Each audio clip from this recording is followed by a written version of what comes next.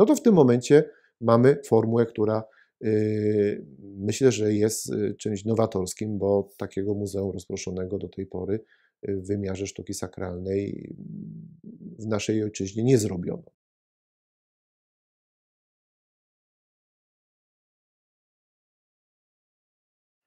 A zatem, drodzy Państwo, chciałbym przedstawić ksiądz y, Szymon Tracz, twórca, autor, pomysłodawca, człowiek pasjonat. Dowiedzieliśmy się wcześniej, w 2017 roku powstał pomysł, żeby muzeum w zasadzie pozostawić tam, gdzie jest jego miejsce. Tak, tu mamy dwie takie warstwy. Nie? Pierwsza warstwa to jest y, kwestia projektu, y, który umożliwia przeprowadzenie konserwacji y, konkretnych kościołów, w tym wypadku drewnianej architektury sakralnej. Mhm. A druga rzecz, co dalej z tymi, z tymi, z tymi budynkami. Tak? To znaczy, mamy do czynienia tutaj ze świątyniami, które nie są używane. Jeśli chodzi o trzon całego, całego pomysłu, tak? czyli to są cztery kościoły i jeden budynek dawnej szkoły parafialnej, które nie są używane, i w momencie, mm, kiedy my je zakonserwujemy, to pytanie, co dalej? Dlatego, że obok tych kościołów stoją kościoły murowane. Używane na co dzień. Które używane są na co dzień, które pełnią funkcję kościołów y, parafialnych. Y, I teraz y, parafia, która ma dwie świątynie, no, ma też problem z pewną rozdzieleniem, czy to nabożeństw, czy to nadaniem co innych funkcji. Tam, co, co robić, robić pod względem takim życiowym. Nie? Mm, natomiast mm, tu pojawia się inna rzecz, że diecezja bielsko-żywiecka, jako młoda diecezja, nie ma własnego muzeum diecezjalnego. W ogóle? W ogóle. W ogóle, w ogóle nie ma muzeum decyzjalnego. Y, ma go powołanego y, jako, jako instytucję, jako instytucję y, która mm, to instytucja ma za zadanie ma za zadanie przede wszystkim inwentaryzować, ale też monitorować, czy właśnie z racji tego, że jestem również konserwatorem zabytków architektury sztuki sakralnej decyzji bielsko-żywieckiej y, i jednocześnie pełnię funkcję mm, właśnie dyrektora Muzeum Decyzjalnego w Biesku Białej. Y, I to pozwala y, mi po prostu nadzorować i prowadzić także prace konserwatorskie zamysłem tworzenia, tworzenia, tworzenia muzeum. No i wszystkie diecezje tworzą to muzeum na zasadzie budynku, w którym prezentują Y, swoje skarby. Y, I teraz, jeśli diecezja ma y, długą tradycję historyczną, no to siłą rzeczy tych skarbów jest więcej, albo mhm. kiedy zaczęli wcześniej, wcześniej. gromadzić. Mhm. Tak? No, takim przykładem świetnym jest Muzeum Diecezjalne w Sandomierzu, które ma jeszcze tradycję XIX-wiecznego muzealnictwa. No, świetne muzea Y, związany z Kościołem Krakowskim, czy Muzeum Katedralne na Wawelu, czy też Muzeum Archidiecezjalne, tak? ale czy muzea, które właśnie powstały w Pelplinie, y, czy Muzeum Diecezjalne w innych, w innych ważniejszych ośrodkach historycznych. Natomiast tutaj decyzja bielsko-żywiecka nie miała takiej możliwości, Y, nie ma też obiektów y, o wysokiej randze artystycznej, które na przykład nie miałyby, powiedzmy w cudzysłowie, domu, tak? bo y, te, które były wcześniej, czyli przed 1992 rokiem, kiedy powstała diecezja, one zostały zabrane do muzeów w Krakowie i Katowicach. Rozdzielone pomiędzy. Zostały rozdzielone w tym, w tym czasie, bo tam były stolice diecezji Y, dla tych terenów, które dziś tworzą y, diecezję bielsko-żywiecką. A więc y, mamy sytuację taką, że część naszych obiektów, na przykład z zakresu sztuki sakralnej, jest w muzeach lokalnych, Muzeum Miejskim w Żywcu, Muzeum Miejskim w Bielsku Białej czy Muzeum w Cieszynie. Natomiast nie mamy je niejako w jednym miejscu jako, jako diecezja. No i teraz rodzi się pytanie, czy Y, iść drogą taką, że tworzymy wspólne, tworzymy muzeum y, umiejscowione y, w stolicy diecezji, czyli w Biesku Białej, ale nie mając wcześniej zebranej kolekcji, którą moglibyśmy pokazywać, musimy tą kolekcję zbudować. A więc najprościej by się wydawało, że zbudujemy ją wtedy, kiedy ze świątyń zabierzemy, y, czy z parafii zabierzemy najwartościowsze obiekty, które możemy pokazywać w ramach jednego muzeum decyzjalnego.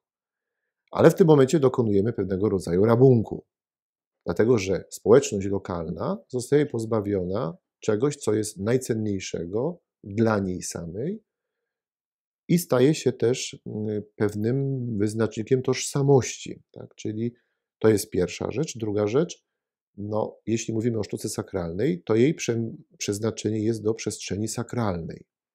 A więc zabranie jej rzeźby, obrazu z przestrzeni na przykład kościoła i umiejscowienie go na ekspozycji w sali muzealnej powoduje, że ten obiekt staje się preparatem.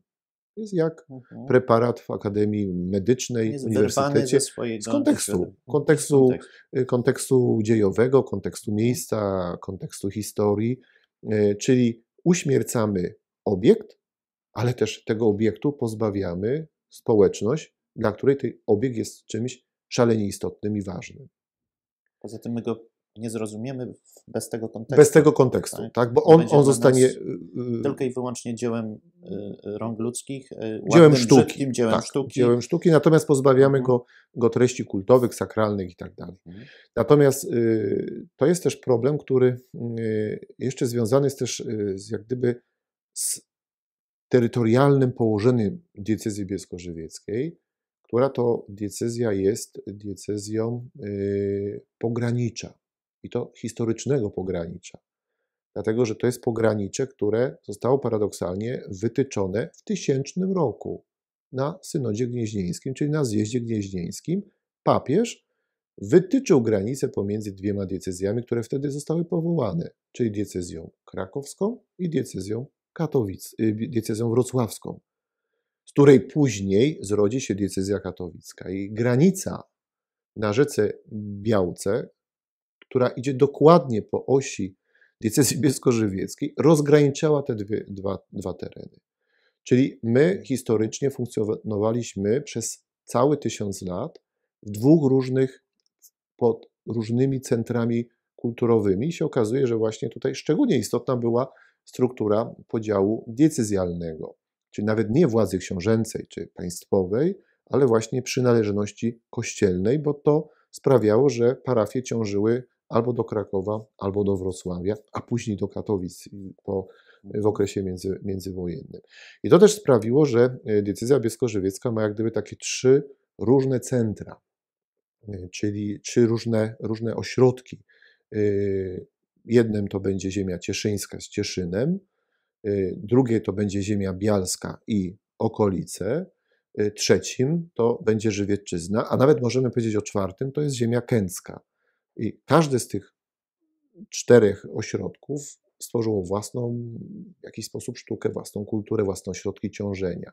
No i teraz mm, tworzenie jednej narracji y, w takim muzeum decyzjalnym, kiedy zabierze się te obiekty, no, no sprawi, że, że ta mhm. różnorodność jeszcze będzie trudniej do zrozumienia. Y, I właśnie kiedy trwało takie intensywne poszukiwanie na formułę muzeum, też muzeum, które będzie atrakcyjne, czyli muzeum, które nie tylko będzie pokazywało kolekcję jako taką, składającą się z konkretnych obiektów, y, rzeźby, malarstwa, rzemiosła artystycznego, ale też będzie instytucją, która będzie żyła, czyli będzie animowała pewne działania kulturowe, które będzie miejscem spotkań dla artystów, ludzi kultury, szeroko rozumianych ludzi sztuki, którzy nie tylko będą oglądać rzeczy dawne, ale będą na przykład mogli e, prezentować sztukę e, swoją, którą tworzą, którą inspirują swoją wiarą, swoimi doświadczeniami religijnymi. Więc mm, to muzeum musi mieć jakąś taką konstrukcję, która by właśnie na te wszystkie oczekiwania e, odpowiadała.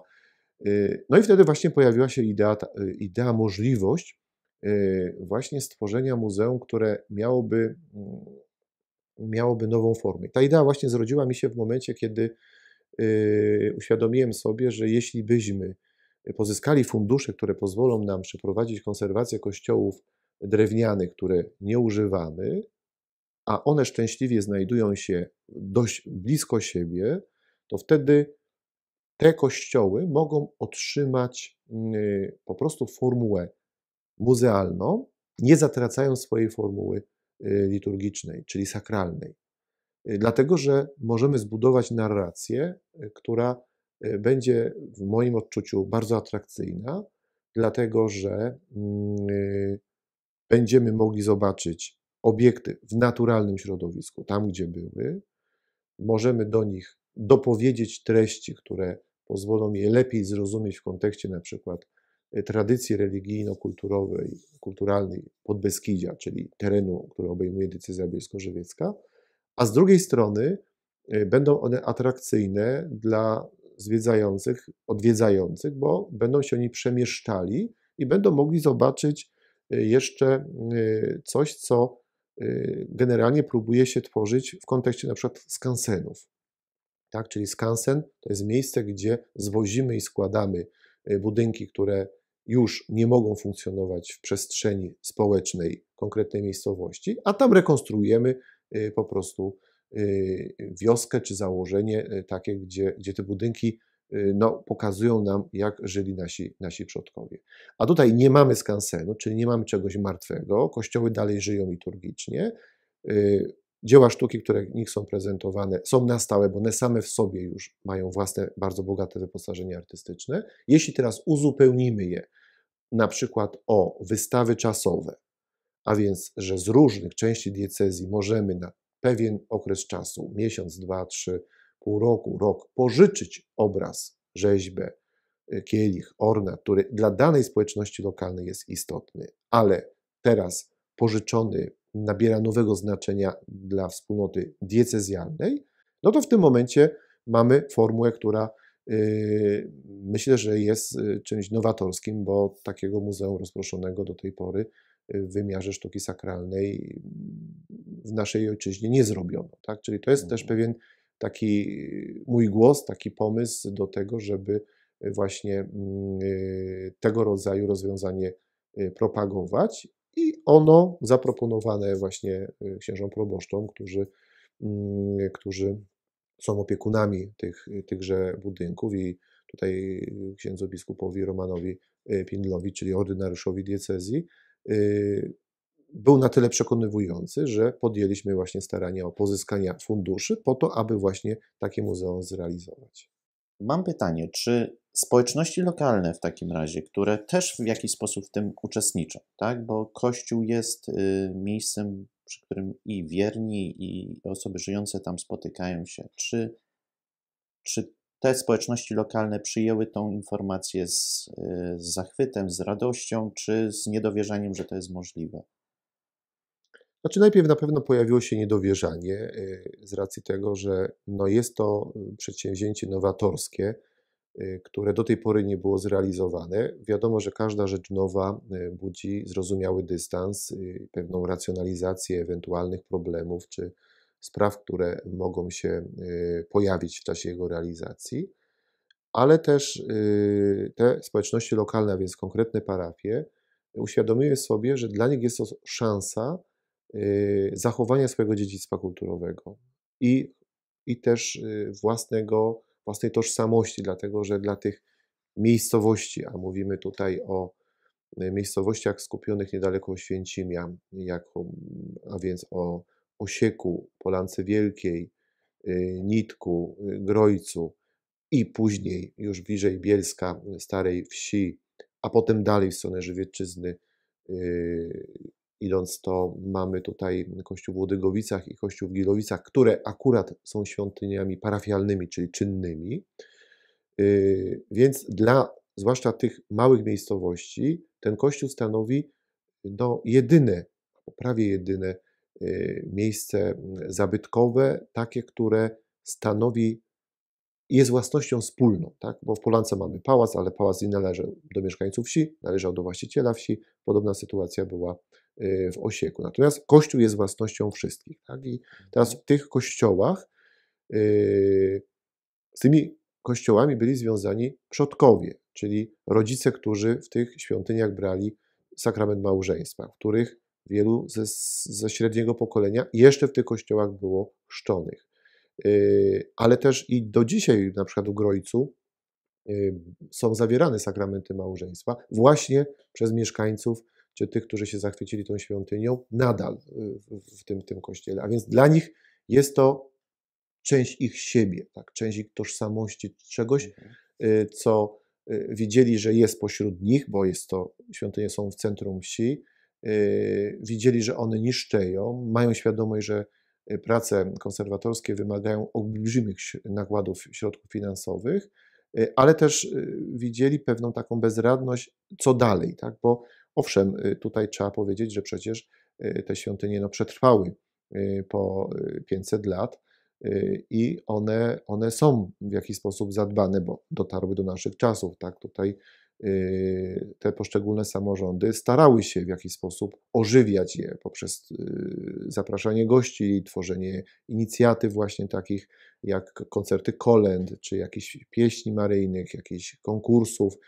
czy też chociażby w to, że te świątynie weszły w formie szlaków drewniane architektury małopolskiej czy śląska, bo Y, bo też musimy tutaj wspomnieć, że dopełnieniem tego zasadniczego trzonu y, Beskidzkiego Muzeum Rozproszonego Diecezji Bielsko-Żywieckiej jest, y, stanowią także 14 kościołów, które zostały wpisane na, do Krajowego Rejestru Zabytków i one są rozproszone po całej diecezji, czyli i w tej części dawnej krakowskiej, i tej części katowickiej. I to jak gdyby stanowi taki no, komplementarny zespół obiektów, wyjątkowych też obiektów, bo pamiętajmy, że mówimy o architekturze drewnianej, która stanowi o pewnej specyfice nie tylko części Polski południowej, ale w ogóle polskiej sztuki.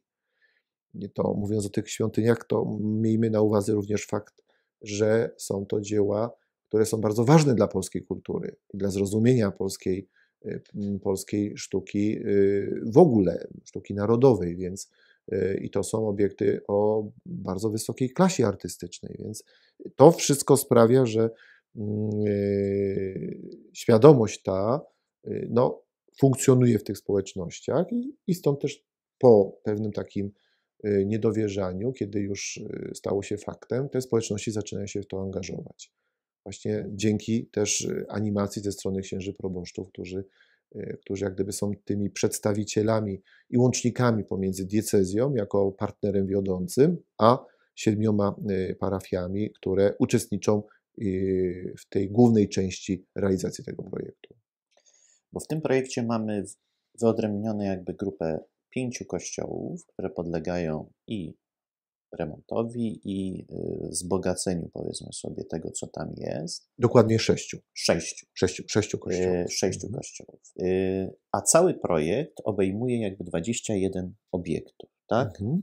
21 obiektów, których możemy powiedzieć, że wszyscy, każdy z nich jest obiektem drewnianym, jest mniej więcej wpisany w tą samą Chociaż nie, nie wszystkie z nich są kościołami drewnianymi, tak? Czy tam jest znaczy, mieszane? Jak to, jak to traktować? Bo to jest jakby jeden znaczy One projekt. są wszystkie, tak, tak, to są wszystkie kościoły drewniane. Yy, owszem, są na przykład, przykład kościoła w, w Głębowicach, gdzie część wschodnia kościoła prezbiterium i ramiona i kaplice boczne są murowane, ale sam istota kościoła jest, jest drewniana. To, to, jest, to jest tylko taki. Bo próbuję tak znaleźć ten klucz tutaj, jak to mhm. się miało mm, tworzyć. Tak? Mamy 21 świątyń, no to jest też potężny potencjał, można powiedzieć, tak. y, turystyczny. I do tego zmierza teraz moje pytanie. Y, atrakcja turystyczna. Tak? No bo musimy do tego się przymierzyć nie tylko od strony, y, powiedzmy sobie, sakralnej, że to muzeum będzie odnowieniem tego, co przez ten cały czas okres niszczało, bądź to było zaniedbane, ale to się ma stać atrakcją turystyczną, jakby, jakby dodatkowym elementem tutaj na południu Polski, gdzie można spędzić sporo czasu zwiedzając ciekawe miejsca. Czy sądzi ksiądz, że y, ta architektura, to co się teraz będzie, w finale będzie się tam znajdowało, będzie mogło przyciągnąć nowych y, zwiedzających, nowych zainteresowanych? Y, czy były już prowadzone jakieś y, badania, jakie jest zainteresowanie w ogóle sztuką sakralną, czy to rośnie, czy maleje, czy to jest kwestia turystyki rowerowej, czy to jest turystyki no, przeciwwagi dla, nie wiem, w Krakowie kopalnia soli Wieliczki, czy Wieliczce, czy Bochnia, że ludzie szukają nowych atrakcji. Czy tu były robione jakieś badania? W tym Oczywiście, kierunku? że tak. Y, te badania musieliśmy przeprowadzić chociażby ze względu na y, warunek regulaminu pozyskania y, właśnie tego funduszu, tych funduszy z, z, z pieniędzy dotacji Unii Europejskiej. I one właśnie pokazały, że ludzie w tym naszym regionie, tak jak właśnie Pan powiedział, chcieliby zobaczyć coś więcej. Yy, dla mnie takim niesamowitym świadectwem yy, były głosy, które właśnie w trakcie tego badania wyszły, że mm, wielu z ludzi mówi tak, yy, że spotykają się z odwiedzającymi południe Polski, a zwłaszcza z tymi, którzy przyjeżdżają do obozu koncentracyjnego w Auschwitz-Birkenau. Mhm. Przyjeżdżają do tego obozu i oni pytają się, co jeszcze można byłoby u Was zobaczyć. Dlatego, że y, to oczywiście jest miejsce wyjątkowe, o którym my musimy mówić. Tak? To jest jakieś dziedzictwo także naszej diecezji, bo y, w Auschwitz-Birkenau y, zginął święty Maksymilian Maria Kolbe, który jest głównym patronem diecezji. Zginęła święta Teresa Benedykta od Krzyża i tylu innych męczenników, tak, którzy byli Polakami i przecież byli, reprezentują wiele narodowości. To jest, można powiedzieć, miejsce okrutne, miejsce straszne. Yy, ale które musi ciągle funkcjonować w naszej świadomości, bo jeśli mhm. tak się nie stanie, no to będzie narracja Europy Zachodniej, że to są polskie obozy koncentracyjne. Ale abstrahując od tego, yy, tego właśnie tego dramatyzmu, który, który się rodzi na naszych oczach, to właśnie pytanie jest tych ludzi, czy my jeszcze możemy u Was coś zobaczyć. No i wtedy jest takie, mm, no możecie Państwo pojechać do Krakowa, możecie pojechać do Wieliczki, tak, y, powstał teraz Energyland y, w Zatorze, więc można w tym wielkim, wesołym miasteczku spędzić, spędzić również, również czas. Tak? I stąd też pojawiły się takie głosy, które mówią, ale to jest bardzo blisko.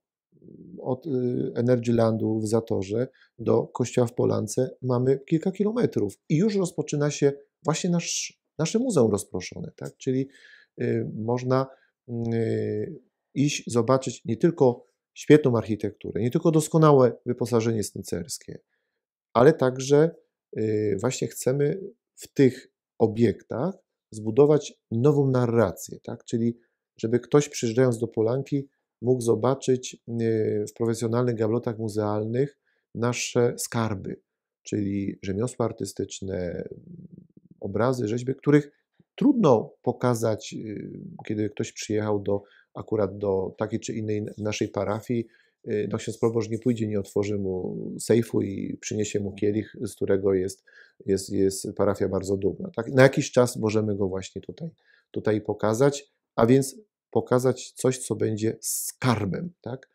Y, tych odwiedzających chcemy zaprosić do Grojca, aby zapoznali się z naszą muzyką, muzyką religijną.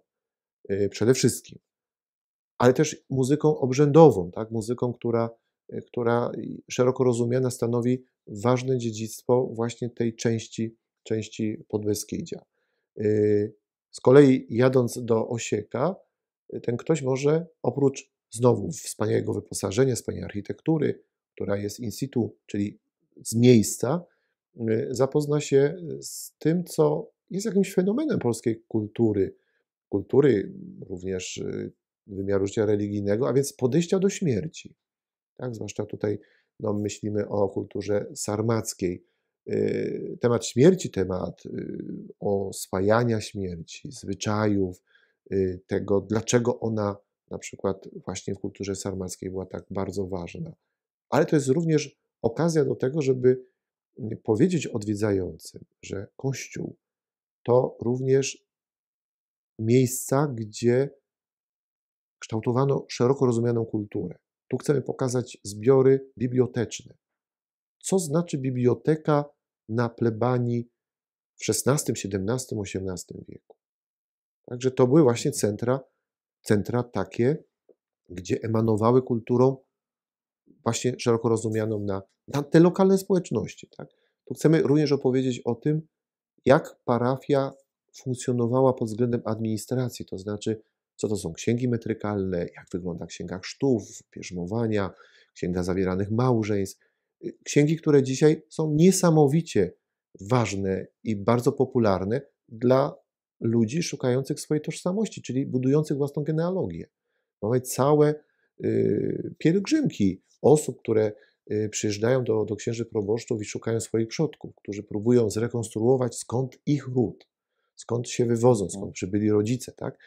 I to jest właśnie w moim odczuciu taka świetna okazja, żeby właśnie ktoś, y, będąc w Osieku, nie tylko zobaczył kwestię umierania, tak? nie tylko właśnie wspaniałą architekturę, ale żeby właśnie popatrzył, że Kościół jako, jako wspólnota, jako instytucja również, o tej wielowiekowej tradycji, y, ma bardzo konkretny kształt w to, żeby zrozumieć, kim my jesteśmy, tak? skąd jesteśmy, że nie jesteśmy znikąd, że jesteśmy stąd, ale równocześnie jesteśmy jednym, taką teserą mozaiki Europy, świata chrześcijańskiego. Bo to, co jest u nas, tak samo było w innych krajach kultury Europy Zachodniej, więc, więc to też, że nie jesteśmy kosmitami, tak? czyli mhm. jest, to, jest to też rzecz taka, którą możemy się pochwalić, ale też, żebyśmy też mogli młodym ludziom powiedzieć, jak oni mogą siebie rozumieć, jakie mechanizmy y, funkcjonowały po to, żeby oni byli dziś w tym miejscu, gdzie są. Y, z kolei w kościele w Nitku y, mamy taką propozycję właśnie na to, aby połączyć świat materialny ze światem przyrody.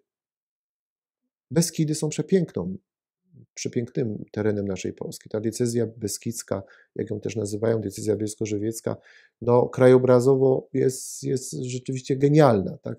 Jest takie na naszych stronach powiedzenie, że y, kiedy Bóg stwarzał Beskidy, to się uśmiechał. Y, I rzeczywiście, patrząc na Beskidy, można można widzieć ten uśmiech Boga, y, jeśli patrzymy na całe bogactwo tej przyrody. I teraz chciałem właśnie tutaj pokazać z jednej strony roślinność Beskidów, faunę, florę, która funkcjonuje w dziełach sztuki, która jest nośnikiem treści symbolicznych. Tak się akurat wyjątkowo zdarza, stało, że to właśnie na Podbeskidziu, w decyzji bielsko-żywieckiej mamy dwa wyjątkowe obrazy, które są unikatowe w skali światowej. XV-wieczny obraz Madonny z poziomką, pochodzącą z obecnej konkatedry w Żywcu i Madonnę z dmuchawcem. Jedyny na świecie obraz, gdzie Madonna trzyma w ręce dmuchawiec y, w sanktuarium w Kończycach, w Kończycach Małych. Y, I te dwa obrazy były taką inspiracją, żeby właśnie powiedzieć, że proszę zobaczyć, to jest roślina, a tak ona wygląda w sztuce, a takie ma za sobą, ze sobą treści. Ale i stąd też właśnie przy tym kościele y, urządzamy ogród z roślinnością, ale pomiędzy tą roślinnością chcemy także rozmieścić elementy y, konstrukcji drewnianej. To znaczy, żeby oglądający, patrząc na kościół drewniany w nitku, obok zobaczył, co to jest zastrzał, co to jest portal wycięty w ośli grzbiet, jak wygląda więźba storczykowa, czyli jak wygląda to, co nie jest, co nie można zobaczyć, bo to jest element konstrukcyjny. Więc tu chcemy opowiadać właśnie o fenomenie, fenomenie konstrukcji budownictwa drewnianego. Tego budownictwa drewnianego, które jest także fenomenem polskim. Y, proszę sobie y, wyobrazić, że y, jeśli jedziemy do Francji, no to oglądamy wspaniałe zamki, pałace nad Loarą. I tak myślimy, no szkoda, że u nas takich pałacy, pałaców nie ma, takich założeń nie ma. Ale my musimy pamiętać, że w Polsce takie pałace i założenia były, ale one były drewniane. Nasza szlachta, magnaci, y, nie mówimy o tych wielkich rodach, które w XVIII wieku zaczęły budować wielkie rezydencje, Y, typu Białystok, czy, czy Łańcut, czy, czy, czy Krasiczyn. Ale przecież generalnie całe życie toczyło się w dworach, a dwory były drewniane. Były wygodne, ciepłe, do nich były przygotowane. Przy, były, były praktyczne z były praktyczne. naszego klimatu tak samo. Tak, prawda? mało tego, y, Jan III Sobieski, kiedy budował Wilanów, tą przepiękną rezydencję, to inspirował się po prostu dworem szlacheckim, dworem z alkierzami, z ogrodem warzywnym, sadem owocowym, a więc dokładnie to wszystko, y, co z taką piękną pochwałą głosi Mikołaj Rej w żywocie człowieka poczciwego już przecież w XVI wieku. Mm, odwołując się do humanistycznej tradycji Owidiusza i, mm, i Wergiliusza, a więc czasów antycznych. I teraz y, ten Nidek jest także świetną okazją, żeby powiedzieć jeszcze o jednej rzeczy, o mieszkańcach drewnianych kościołów. Sobie nie uświadamiamy, ile żywych istot żyje w drewnianym kościele. Mamy nietoperze, mamy sowy, mamy, yy, mamy ptaki, które pod jak mówi psalmista, strzechami świątyni znajdują swoje gniazda. Ale mamy także drewnojady, które stanowią zagrożenie dla tych świątyń, prawda? Mamy rozmaite owady. Yy, I to jest też moment, żeby też powiedzieć, że oprócz roślin wokół nas żyją zwierzęta. Yy, świat, który jest stworzony, to na co z takim mocnym akcentem teraz zwraca uwagę papież Franciszek. Właśnie, żeby móc opowiedzieć o, o tej przyrodzie, że ta przyroda jest integralną częścią nas, naszej kultury, naszego życia, naszej codzienności. I właśnie w tej świątyni chcemy pokazywać pracę współczesnych artystów. Pracę współczesnych artystów, czyli żeby to była świątynia również taka, gdzie będą moż, można zaprezentować dzieła sztuki właśnie, które powstają dziś, które powstały wczoraj albo powstaną jutro, a ich inspiracją jest Y, właśnie Ewangelia, inspiracją jest wiara, inspiracją są duchowe przeżycia. Y, I to, to właśnie jest y, ta, mm, taki pomysł na, na Nidek. Właśnie jest takim odniesieniem do, do tego świata żywej natury. I to są cztery kościoły. To jeszcze tutaj Polanka, pytanie tak? odnośnie tego nitku. Tam ksiądz wspomniał, że będzie możliwość dla ludzi, którzy będą dopiero tworzyć sztukę, tak? czyli będą się mhm. inspirować y, tym, co jest wokół, wiarą, y, czy też y, innymi bodźcami. I tam będzie możliwość wystawiania tego. Czyli mhm. my możemy mówić, że ten kościół konkretny tam w Nitku też będzie takim miejscem promowania młodych artystów, promowania ludzi, którzy, no być może dla których nie mam oprócz galerii miejsca, żeby mogli gdzieś wystawić swoją sztukę. Czy to będzie otwarte, o, forma otwarta, tak, ona będzie formą, oczywiście formą otwartą, bo mało tego, to ja do tego kościoła w Nitku chcę także Państwa zaprosić po to, by pokazać pracę chociażby osób niepełnosprawnych. Pracy, yy, miałem taki epizod yy, dość długi, pracy w warsztatach terapii zajęciowej właśnie w Gidowicach, yy, gdzie spotkałem się z ludźmi naznaczonymi niepełnosprawnością, Y, ale tworzącymi niesamowite rzeczy. Niesamowite rzeczy. I pomyślałem, że oprócz profesjonalnych artystów, ale też y, potrzebne jest takie miejsce. Właśnie. I takie miejsce to jest rola Muzeum Decyzjalnego, nie? że możemy pokazać fantastyczne prace, które tworzą dzieci, mhm. tworzy, tworzy młodzież, tworzy, tworzą właśnie osoby niepełnosprawne.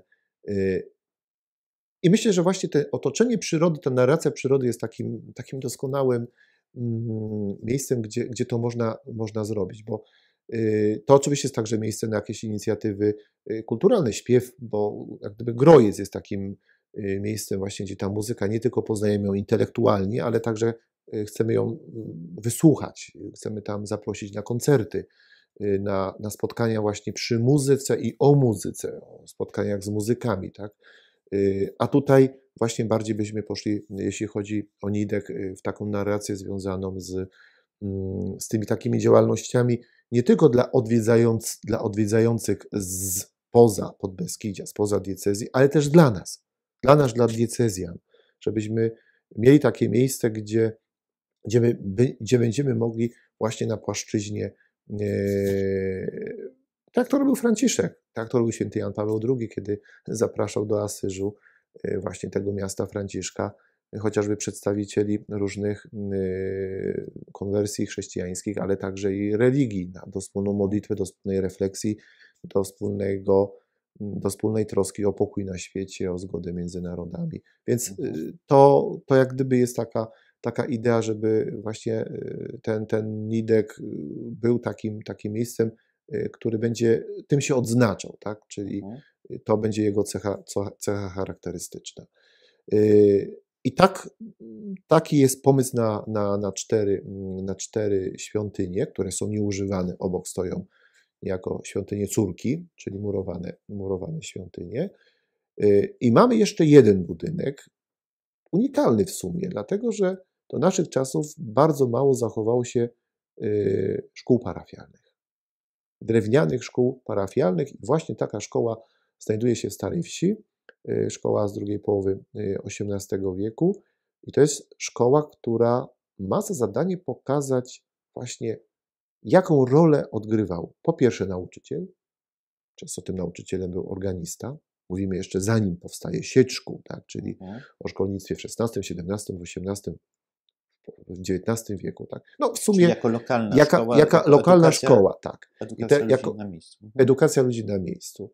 Yy, Chcemy pokazać, jak mieszkał ten nauczyciel, w jakich on warunkach pracował, jak w ogóle, mm, jak w ogóle to, to, to wyglądało, tak? że, że, że tutaj uczono dzieci i teraz wychodzą z tych szkół parafialnych wspaniali ludzie, którzy się również zapisują w historię, w historię kraju czy, czy świata. No, mamy szczęście, że yy, na naszej ziemi, w Kętach, urodził się święty Jan Kanty, który do takiej szkoły chodził na początku. Tak? Wybitny profesor Wszechnicy Krakowskiej. Yy, Święty Józef Bilczewski, arcybiskup lwowski, yy, który, który w niedalekich Wilamowicach prawda, się urodził. Yy, To także Paweł Gilowita, XVI-wieczny yy, reformator, protestant, urodzony w Gilowicach, który zasłynął jako świetny teolog protestancki w XVI-wiecznej Polsce, yy, w tej Polsce z złotego, złotego okresu. Chodził do takiej szkoły parafialnej. Tam się to wszystko zaczynało, więc jak gdyby Mhm. chcemy to pokazać, ale równocześnie chcemy tą szkołę ożywić dziećmi, młodzieżą, która przyjedzie i siądzie w ławkach, bo mamy zespół takich ławeczek, w jakich siedzieli jeszcze nasi dziadowie. Tak? Mhm. Żeby teraz mogli tutaj nauczyciele, którzy z nimi przyjadą, poprowadzić zajęcia kaligrafii, poprowadzić mm, zajęcia mm, zobaczenia właśnie y, takiej narracji, czym jest to Beskidzkie Muzeum Rozproszone w Diecezji Bielsko-Żywieckiej, a więc y, krótkich filmów, które pokażą właśnie różne zagadnienia, które, z którymi człowiek może się spotkać, kiedy wyruszy na ten nasz szlak, tak? kiedy y, będzie mógł odwiedzać te, te, te, te obiekty. Y, W tym zasadniczym jądrze, kiedy będzie mógł poruszać się rowerem, jest właśnie kwestia taka, żebyśmy, y, że stworzymy wypożyczalnię rowerów, rowerów o napędzie elektrycznym, bo to pozwoli bliskie odległości te, te obiekty, te obiekty y, zobaczyć, ale też będzie mógł siąść y, w samochód i, i, i przejechać. Y, I to jest właśnie pomysł na, na, na, na szkołę, tak? żeby ta szkoła rzeczywiście na nowo, na nowo zafunkcjonowała, żebyśmy ten klimat szkoły y, spróbowali y, odtworzyć i, i tutaj nadać mu takie centrum wiedzy, takie o tym, co, co, się, co, się, co się dzieje. Można by tutaj zaryzykować takie twierdzenie, że poprzez te obiekty my na nowo budujemy tożsamość, tożsamość własną, jakby powrót. Tutaj ksiądz wspomniał o tym, że liczymy na młodzież, na dzieci, które będą tam przyjeżdżały. Ja sądzę, że to nie tylko, bo powiedzmy sobie szkoła jako budynek, y, wyposażenie tej szkoły będzie ciekawe też dla osób dorosłych. Y, Ale czy tu w założeniach jest gdzieś ta odbudowa tożsamości?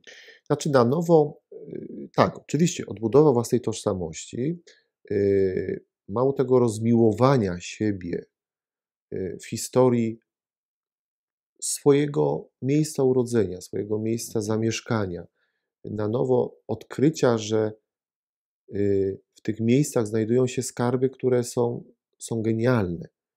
Y, I uświadomienia sobie, że jeśli wchodzimy do kościoła w Polance i widzimy wspaniały zespół późnobarokowych ołtarzy, to teraz trzeba pamiętać, że no, ten sam artysta wykonał prospekt organowy w prezbiterium Kościoła Mariackiego. Czyli to nie jest, mhm. nie jest przypadkowe, to nie tak. jest jakaś, jakaś sztuka nie wiadomo którego, której, którego gatunku, nie? że tak, to jest, że to jest najwyższa. przypadek coś Tak, że to, to, nie jest, nie. to nie jest właśnie przypadek, tak? czyli że tutaj my możemy właśnie na kanwie tego o to wszystko zadbać. Możemy to przekazać następnym pokoleniom, ale żeby to było przekazanie świadome, żebyśmy wiedzieli, o czym mówimy, dlatego że teraz chcę jeszcze powiedzieć o jednej rzeczy, która jest niesamowicie ważna e, w rozumieniu tego muzeum, bo jeszcze mamy dwa obiekty w tym zasadniczym trzonie, to kościół w Łodygowicach i kościół w Gilowicach, które pełnią funkcję sakralną, więc jak gdyby tutaj do minimum musimy możemy, znaczy musimy tę, tę kwestię taką powiedzmy muzealną zorganizować, ale to są, są świątynie, które świetnie nadają się na działalność taką właśnie bardziej kulturalną. Tak? Y, otóż dopełnieniem tego wszystkiego będzie cały zespół aplikacji mobilnych, tak zwanej rzeczywistości rozszerzonej, gdzie to, o czym mówię, będzie można samemu, w miarę własnych potrzeb, własnych oczekiwań, znaleźć w przestrzeni wirtualnej. Czyli, że własny telefon komórkowy, własny, własny smartfon yy, pozwoli mi się prowadzić, pozwoli mi, yy, najeżdżając na obiekt y, w konkretnym yy, kościele, posiąść tą wiedzę, która mnie ciekawi, co mnie interesuje. Y, ale równocześnie nie tylko tej, bo tam do dziś przestrzeń y, właśnie rzeczywistości rozszerzonej jest przestrzenią nieogarnioną. Y, to jest przestrzeń, na, z którą naraz musimy żyć, bo zmusiła nas do tego epoka COVID-u, który ni stąd ni owąd przyszedł i, i całe nasze działanie, począwszy od wielkich międzynarodowych muzeów, o międzynarodowej sławie muzeów, przenosi się do sieci. Tak?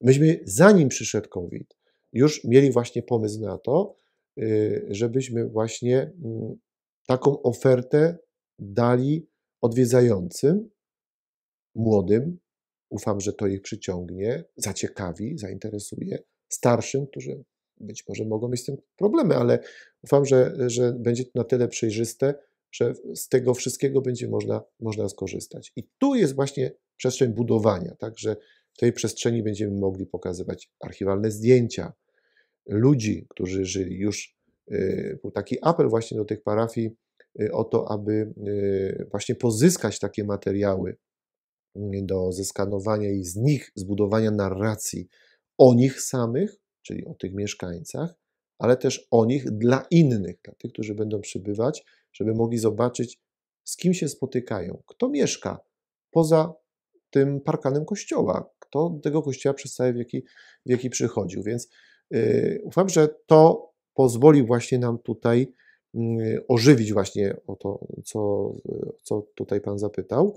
Y, I teraz ta rzeczywistość rozszerzona może nam dołączyć te 14 pozostałych budynków y, drewnianych, sakralnych, które stanowią istotę naszego, naszej, naszego tego projektu, tego pomysłu. Mhm. Y, aplikacja pozwoli wytyczyć y, trasę. Zwiedzający powie, mam 3 godziny, mam 4 godziny, mam samochód, mam rower, tak? No i wtedy mhm. będzie mógł sobie mm, ten y, ktoś mm, prawda, odwiedzić to, to, to miejsce, albo, albo pojechać, pojechać dalej, albo zostawić na, na, inny, na inny czas, bo ufam, że, że to go zainteresuje. Tak? Ta narracja będzie w kilku językach, a więc również obcokrajowcy, y, którzy na przykład przyjeżdżając do mm, y, wspomnianego obozu Auschwitz-Birkenau, y, będą mogli zapoznać się z czymś nie tylko tak przerażającym, ale też, że przecież ten obóz wbrew nam został zbudowany w, w naszym świecie, w naszym świecie, który nie jest światem przemocy, nie jest światem śmierci, nie jest światem drutów, ale to jest piękny świat wpisany w naturę, świat, który, który, który no, pozwala realizować człowiekowi swoje człowieczeństwo, a nie jest zaprzeczeniem tego człowieczeństwa. Więc to jest też, e, myślę, że szalenie ważne, żebyśmy e, umieli na to tak, tak patrzeć.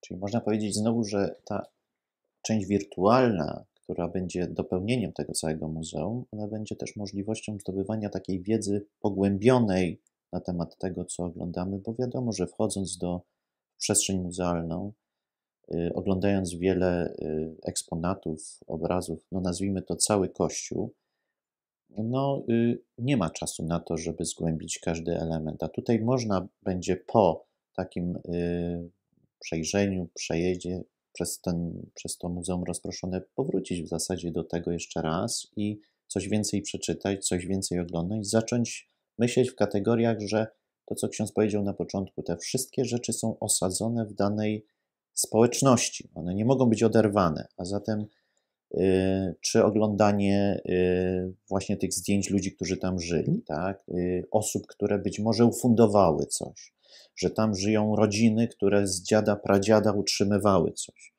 Y, a więc zaczynamy poznawać historię ludzi, historię rzeczywistych y, przeżyć, zdarzeń danego miejsca, i przez to wydaje się przynajmniej, że wartość tych muzealnych na pozór martwych rzeczy zaczyna nam wzrastać, bo z nimi się wiąże pewna historia.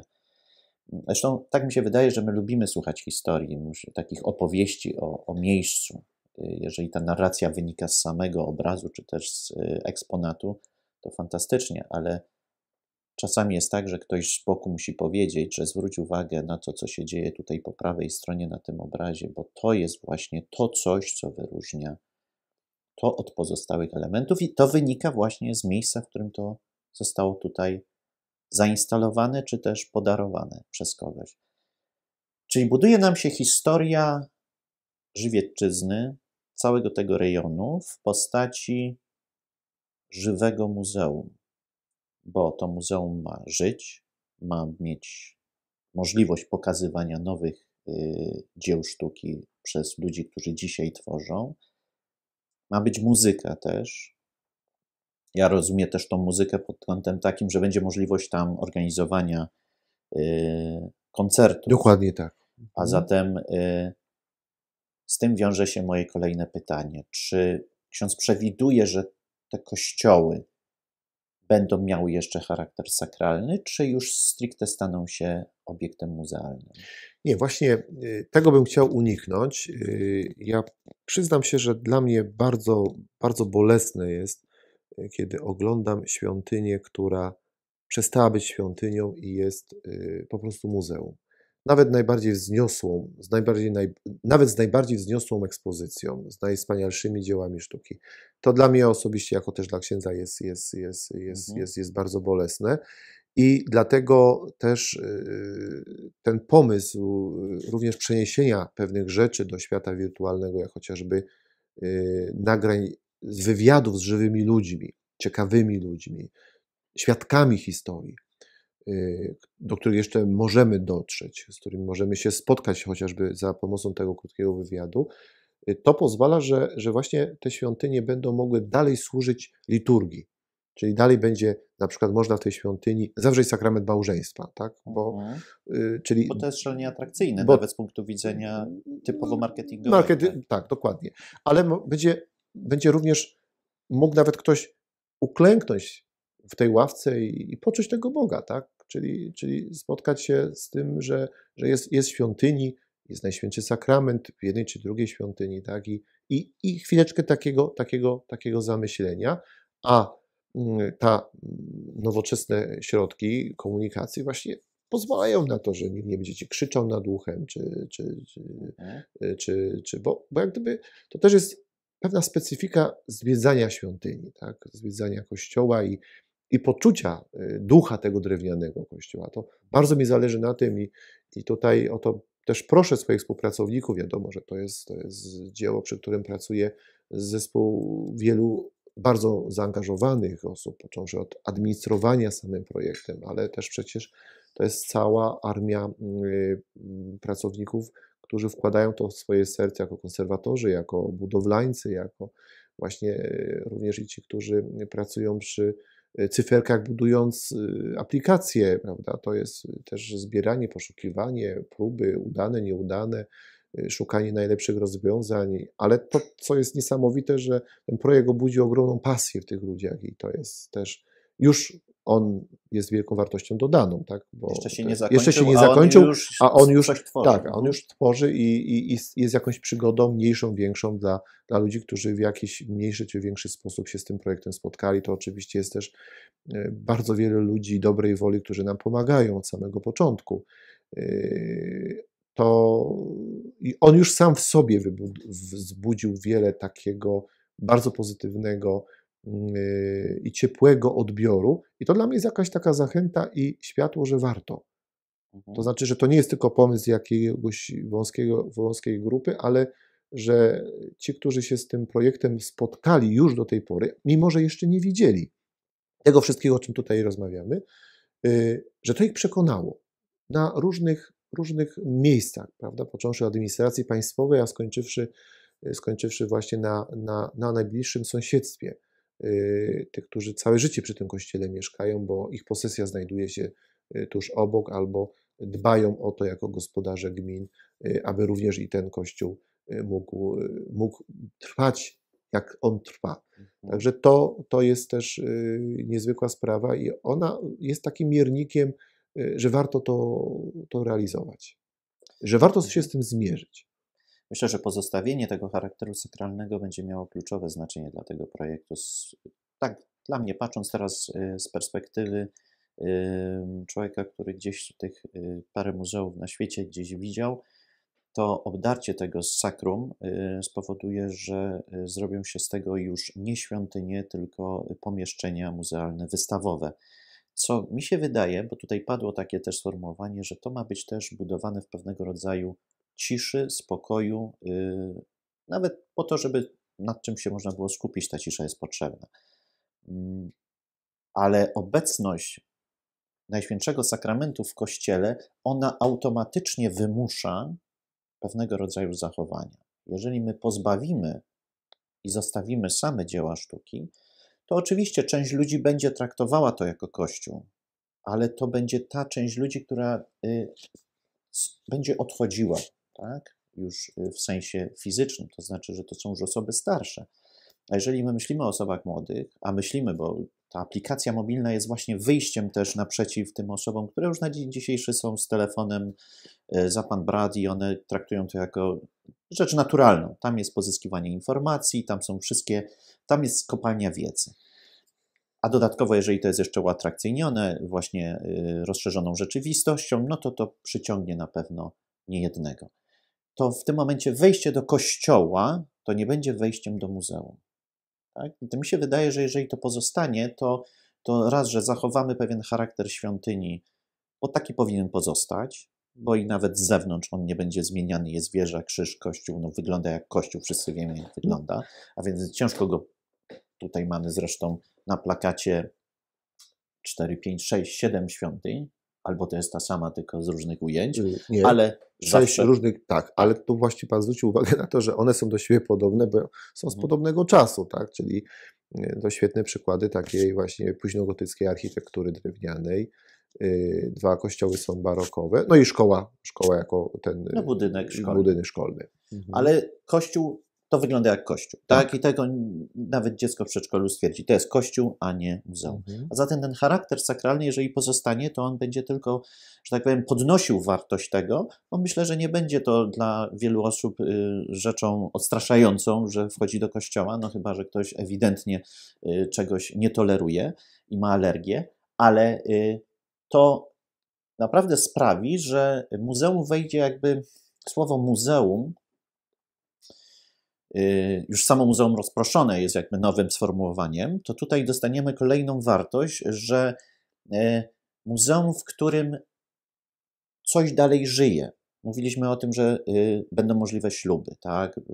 No, pewnego rodzaju Y, tradycje lokalne być może wrócą do tych miejsc y, właśnie, w których Ale kiedyś się to odbywało. Tak? które czy to będą majówki, majówki czy, czy różaniec. Czy... Dokładnie, więc ludzie, którzy żyją tam, oni z miłą chęcią wrócą do tego, a teraz osoby, które to zwiedzają, złe słowo, uczestniczą w tym całym zwiedzaniu, mogą uczestniczyć też w tych, na żywo w tych yy, nabożeństwach, które nie są żadnym performancem, nie Dokładnie. są tylko scenicznym odstawieniem jakiegoś, yy, yy, jakiegoś charakteru tego miejsca, tylko one są żywe.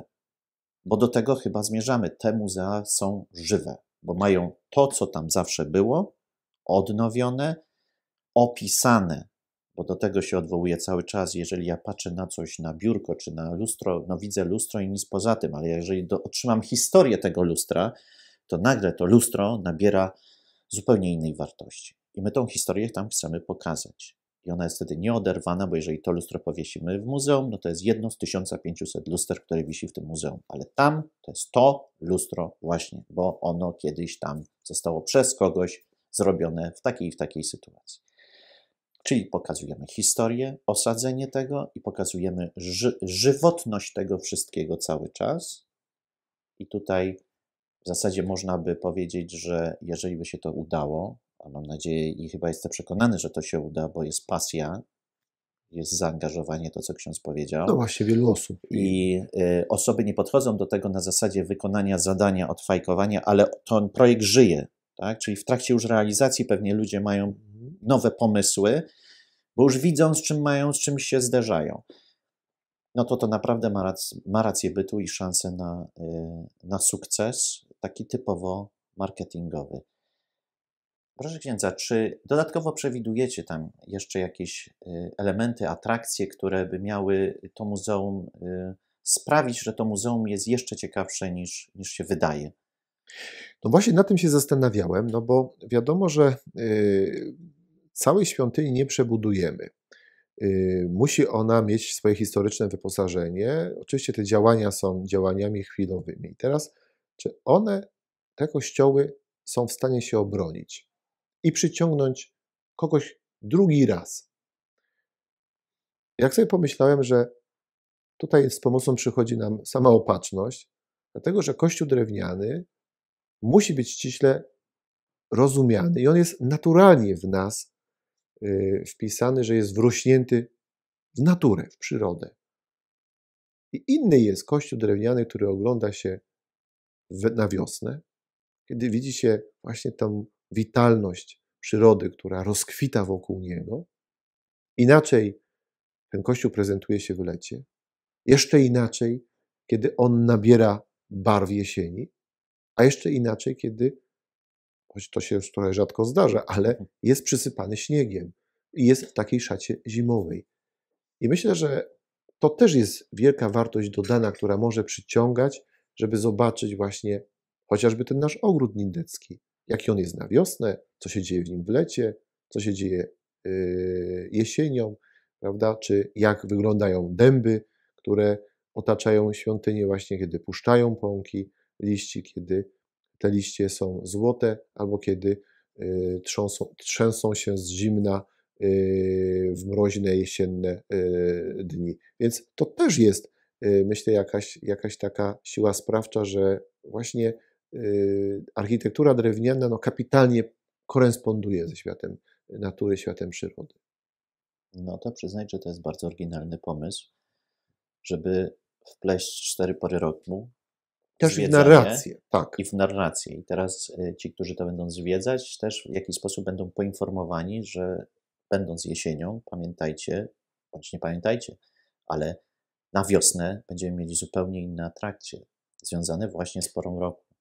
Tu w przypadku tego ogrodu to będzie też miało olbrzymie znaczenie, bo rozumiem, że to wtedy gdzieś tam się odbudowywuje mhm. cała ta przyroda.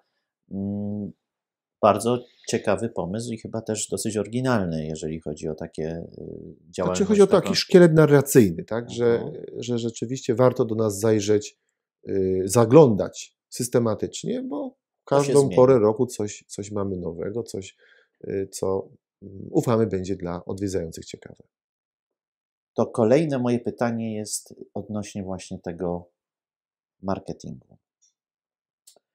Czy na etapie już tworzenia tego, bo to jest projekt, który będzie trwał lata, do 2022, czy już ksiądz przewiduje pewne działania promowania tego pomysłu? Yy, no, yy, dystrybucji tej informacji o tym, że słuchajcie, za dwa lata, ale to już się dzieje, powstanie coś takiego. Czy takie działania się już, czy są w zamiarach w ogóle? Oczywiście, że także od samego początku ta informacja musiała zaistnieć. Po pierwsze, jest to wymóg realizacji samego projektu, że on musi być, mm, musi być na początku o tym poinformowany w, rozmaitych, w rozmaity sposób, za pomocą rozmaitych mediów. I wtedy on już właśnie wywołał sporo zainteresowania, nie tylko na Podbeskidziu, ale, ale także i, i, i szerzej, na, na Śląsku i w Małopolsce. Czego świadectwem jest chociażby fakt, że projekt został wpisany do kontraktu terytorialnego województwa małopolskiego, a więc to podnosi jego mhm. rangę, bo y, województwo małopolskie uznało, że dla jego rozwoju, dla jego promocji, y, rozwoju kulturalnego i, i działań, które podejmuje y, ten projekt, bardzo dużo wnosi, dlatego no, został, został wybrany, wytypowany do tego kontraktu terytorialnego. A my, tworzy, kiedy ruszyły pierwsze prace, tak, no, systematycznie informujemy za pomocą strony decyzjalnej, za pomocą Facebooka decyzjalnego. No a teraz y, właśnie w momencie, kiedy już y, to tempo pracy jest na tyle intensywne, że możemy więcej pokazać, y, chcemy stworzyć, stworzyć właśnie mm, własną stronę, z, która, która także będzie tutaj działa w tej przestrzeni multimedialnej. To są również audycje, pogadanki, które wysyłamy w eter za pomocą rozgłosi naszego radia decyzjalnego Anioł Beskidów, czy też informacje, które idą do pracy za sprawą właśnie dziennikarzy, którzy interesują się tematami lokalnymi, ale także propagują to na innych, innych forach.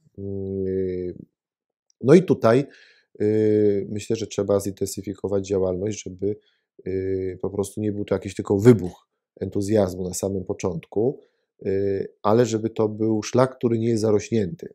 Tak, żeby tym szlakiem. my kosimy tą trawę cały czas. Cały czas, tak. Mhm. Y, że jednak nie tylko, że, ją, że nie musimy jej kosić, bo ta trawa jest zadeptana, dlatego że ludzie przychodzą, widzą sens, odpoczywają, zawsze znajdują coś nowego, coś, coś, coś ich zaskakuje, odkrywa i to jest, to jest też, y, myślę, że wielkie zadanie, które jest y, przed nami wszystkimi, zarówno na poziomie administracyjnym, ale także y, no, kwestia tych lokalnych wspólnot, tak, które no, teraz muszą się tym chwalić i mówić, że warto do nas przyjechać, bo mamy to i to do zaoferowania i w ten sposób można wartościowo spędzić czas. Czy jest zrozumienie w społecznościach lokalnych dla, y, nie dla samego projektu, bo tu rozumiem, że jest, e, ale że dzięki temu te rejony, regiony są, są się w stanie wypromować na bazie właśnie tego muzeum? Czy tam jest już postrzeganie tego muzeum w ten sposób? Znaczy myślę, że chyba jeszcze nie, yy, dlatego że yy, to jest cała praca związana z, ze zmianą myślenia. Tak? Yy, kiedy na przykład w tych parafiach yy, spotykałem się yy, w dość specyficznej formie z wiernymi, dlatego że księża proboszczowie zapraszali mnie z homiliami w trakcie niedzielnej mszy świętej, to oczywiście w kontekście narracji Słowa Bożego i potem przechodząc do, do tego, co, co chcemy pokazać, to widziałem takie trochę malujące się zaskoczenie, zdziwienie na twarzach parafian, ale myślę, że to potrzebny, do tego potrzebny jest czas. Y, I, ten, I to zrozumienie przyjdzie w momencie, kiedy y, oni przyjdą nie tylko sami i zobaczą to, co się stało z ich kościołem, ale kiedy zobaczą y, pierwszy autokar czy, czy, czy, czy pierwsze grupy, które będą przyjeżdżały, będą się pytać, jak tam dojechać, tak? Mhm. albo czy jeszcze daleko. Bo wtedy to dopiero będzie taki, myślę, że namacalny dowód na to, że no tak, jeśli ktoś skądś daleka przyjeżdża, no to chyba warto. Czyli to będzie ten moment, w którym oni uwierzą w to, uwierzą że tak naprawdę to, ten projekt miał sens. Tak, że, że ten projekt miał sens i że to, co do tej pory mówimy, y, to nie jest łabędzi śpiew, ale że to się przekłada na, na, na konkretną rzeczywistość. Tak, że... Czyli teraz jest taki kredyt zaufania. Zaufania, razie, tak. A, a później dopiero będzie rzeczywiście warto było. I, yy, okay. Znaczy ten kredyt zaufania udało się zbudować też jeszcze przez inne działania, mianowicie mm, poprzez to, że na stronie decyzji publikujemy yy, raz po raz jakieś informacje o pracach konserwatorsko-restauratorskich. Yy, księża żartują, że zawsze udaje mi się coś znaleźć, kiedy o, ty, o tym mówię. I to sprawia, że naraz temat zabytków, architektury zaczął istnieć w świadomości. Tak? Kiedy jest w ogóle tematem do dyskusji. Jest, jest tak? tematem do dyskusji, do rozmowy i, i też już były takie momenty, kiedy yy, jakoś tak się złożyło, że przez dłuższy czas na stronie diecezji, mówię o stronie internetowej, nie pojawia się żadna informacja i spotykając jedną, drugą, trzecią osobę, ona mówi, a dawno nic nie pisaliście, nic się wam nie udało odkryć, nic nie udało się znaleźć. I, i to, to pokazuje, że, że jednak, yy, jednak jest, jest, jest to zainteresowanie, że jednak Y, naraz y, coś, co, co stało tyle wieków i, i na co patrzono, y, przyjmuje, staje się zrozumiałe. Ja też tego doświadczam, kiedy księża zapraszają na przykład z posługą homilii odpustowej i mówią, wiesz, to jest taka dobra okazja, powiedz nam coś o naszym kościele. Więc trochę to brzmi tak. zaskakująco, ale później doświadczam czegoś takiego, że kiedy właśnie wykorzystuję treści artystyczne, które y, są w tej świątyni w kontekście właśnie czytanego w danym dniu Słowa Bożego i po przyświętej przychodzi jeden czy drugi mówi tak, że księdza, no tyle lat tu chodzę i ja w życiu nie wiedziałem, nie wiedziałam, że, że to, tak, to jest to, że to tak należy czytać, że to, mhm. to, jest, to, jest, to jest zrozumiałe. Więc to pokazuje, że ta eduk tej edukacji nigdy dosyć. Nie? że jednak my musimy ciągle edukować, ciągle mówić, mówić, mówić, pokazywać, wyjaśniać, tłumaczyć, łączyć w jakieś zespoły, yy, po to, żebyśmy, żebyśmy to rozumieli, bo to chyba też jest kwestia, jak gdyby za tym idzie dalej, yy, pewnej katechizacji, pewnego, pewnego mm, też uświadamiania, że Kościół ma ciągle coś do powiedzenia i to jest coś mądrego, to jest coś dobrego, coś, co może sprawić, że człowiek będzie człowiekiem szczęśliwym, że y, to nie są tylko jakieś trudne sprawy, które mogą mnie przygniatać albo odstraszać czy odpędzać od tego, y, czym jest Kościół szeroko rozumiany, tak? ale że to jest właśnie przestrzeń, gdzie mogę spotkać prawdę, piękno i dobro, jak mówił Platon, który mhm. te trzy cechy jako pierwszy wyodrębnił. Więc to jest niesamowite, że y, tutaj ta szansa już w kontekście tych właśnie działań, ona y, no, może mieć powodzenie. Na ile to, co ksiądz robi, jest dla księdza zaskoczeniem? Y, Odkryciem?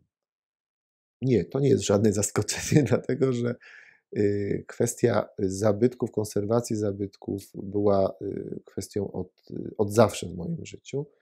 Pierwszą wystawę zorganizowałem na strychu, strychu mając 11 lat, więc dość jest. wcześnie. Mhm. Natomiast moją wielką pasją było chodzenie do kościoła nie, nie ze względu może, że to zabrzmi trochę dziwnie, ale mówię oczami dziecka, nie tylko na to, że człowiek spotyka tam Pana Jezusa, ale oprócz tego Pana Jezusa były jeszcze ołtarze, obrazy, rzeźby, które można było oglądać.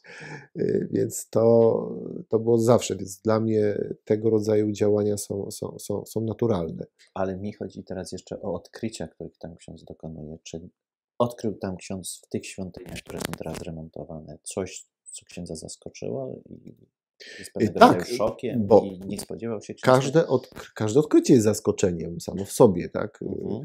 Y, I niezwykłe jest to, kiedy naraz y, od, od, odsuwamy deski, szalujące ścianę wewnętrzną y, i widzimy, i widzimy coś takiego jak mm, właśnie polichromię dużo starszą, XVII-wieczną, tak? albo coś, co wydawało się, że jest mało wartościowe, Y, po mm, pracach y, związanych z, z odkrywaniem, ściąganiem jakichś kolejnych przemalówek warstw jest, jest czymś, czymś zaskakującym, albo y, kiedy okazuje się, że rzeźba czy, czy obraz, który zdradza pazur, naraz w archiwaliach okazuje się, że jest dziełem znanego artysty. Więc to jest właśnie Mhm. największe zaskoczenie. Także Czyli takie historie się takie zdarzają historie, tak, oczywiście, bo y, kiedy wyjdzie się, wyjdzie się na, na schody na przykład y, z ostatnich dni, akurat nie w kontekście tych drewnianych kościołów, ale y, wchodząc na klatkę schodową prowadzącą na wieżę, naraz widzę, że na ścianie wisi y, krucyfiks y, późnogotycki z początku XVI wieku.